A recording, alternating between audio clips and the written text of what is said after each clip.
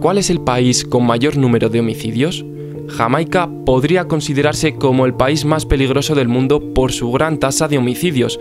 En el año 2020 la tasa fue de 44,95 asesinatos por cada 100.000 habitantes, lo que supuso la muerte de 1.331 personas ese mismo año. En contraposición está Mónaco, con 0 asesinatos por cada 100.000 habitantes y se clasifica como el país más seguro, factor consecuente por su escasa población. En segundo lugar en este ranking se posiciona Trinidad y Tobago con 38,52, seguido por El Salvador con 37,16.